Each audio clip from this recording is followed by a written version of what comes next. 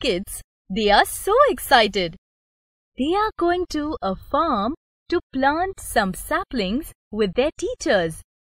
So, why not learn the conversion with them?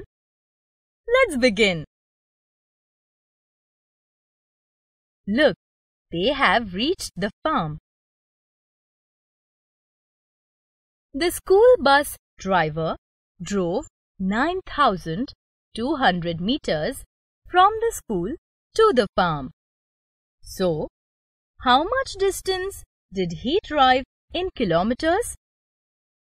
Here, we have to find out the answer in kilometers.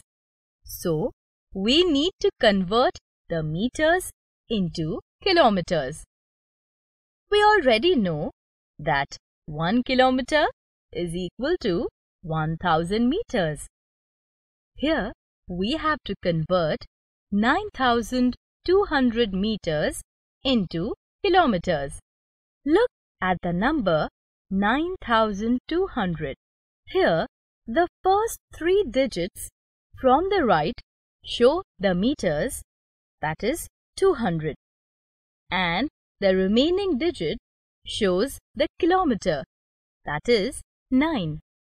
So 9200 meters is equal to 9 kilometer 200 meters.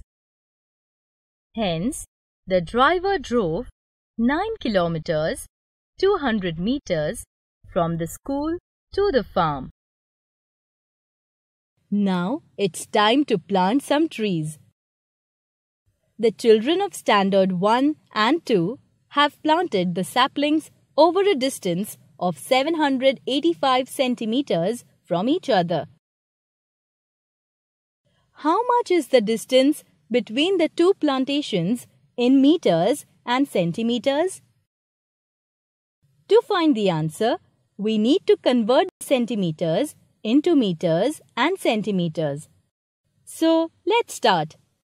We already know that 100 centimeters is equal to 1 meter.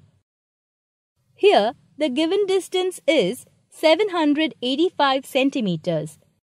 The first two digits from the right show the centimeters, that is 85. And the remaining digits show the meters. Here it is 7. Therefore, 785 centimeters is equal to 7 meters 85 centimeters. So, the distance between two plantations is 7 meters 85 centimeters. Wow! It was so much fun learning conversion while planting the saplings.